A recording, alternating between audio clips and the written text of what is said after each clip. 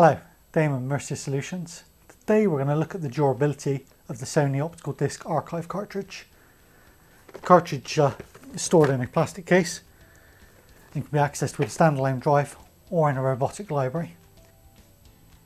Okay, so the first test is a drop test where you can see the cartridge has been dropped from approximately 180 centimeters. In the second test, the cartridge is placed onto a strong magnetic field, placed on here for seven days. Um, and you can see that uh, no issues occur with this either. The third test, um, we take 8 kilovolts of electricity and physically charge the cartridge to uh, 8 kilovolts.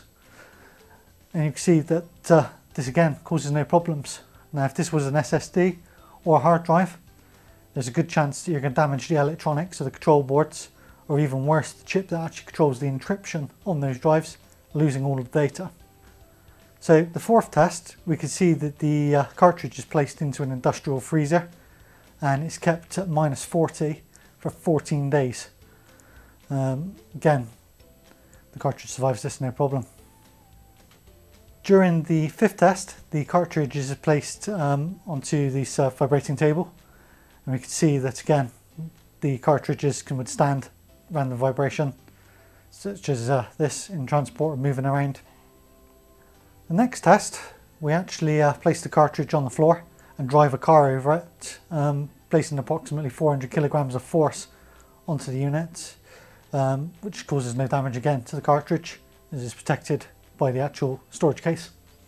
And in the next test here, you can see the cartridge is placed into uh, a simulated flood water, which actually causes the whole cartridge to fill up with uh, this dirty water. And we can see that the cartridge can then be taken apart cleaned, put back together once dry, and then again the data read back off of it. Um, again, if this was a hard disk or tape or a storage medium, there's a good chance that you're actually going to lose the data. Thank you for making it to the end of the video. If you'd like to learn more about this technology, please consider subscribing to the channel and also liking, sharing and commenting below as this will help others find the video as well.